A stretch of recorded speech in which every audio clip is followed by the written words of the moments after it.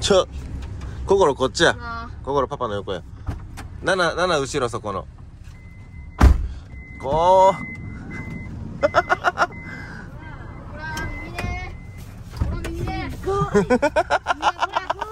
これは知らんかったな、パパ。ほら耳ねああ、座れんあ。はい、ちょっと頑張って座っとって。心教えてくれとな。ちょ、耳ね、ちょっと帰ったら怒ろうか。ほらかはい。ちょっと待って上行けんねんけど上に行けんけどうだ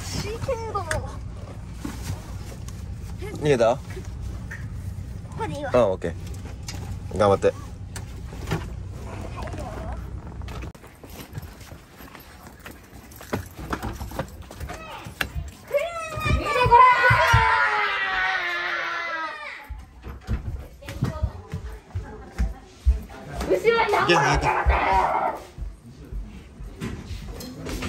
困ったやないかい。え後ろにタコを使って困ったやないかい。だから聞いたんやセブンは。7個ポイントないとしてたらあかんのかって。知らん。やん、ちゃんと荷台に積んどるようなもんやん。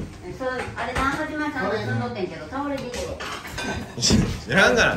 段ボール捨ててきてくれた。いいよ。知らんあれセブンも関係な？いで。ポイントなくても。なくてもいい。捨てていい。あほなあの帰りに捨てに行こうと思ってな。積んできたんや。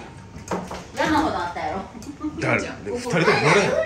私だと乗れんかったし。必死で運んだよ。の。俺のカード貸したるわいやようめんどくさい。めんどくさくないわお母くんがさ両席乗ってなんさくないわギリギリで乗ったわ。あ乗れた。お父さんみ文句言おうと思って動画回ってきた。そう。ね捨てに行こうねん今から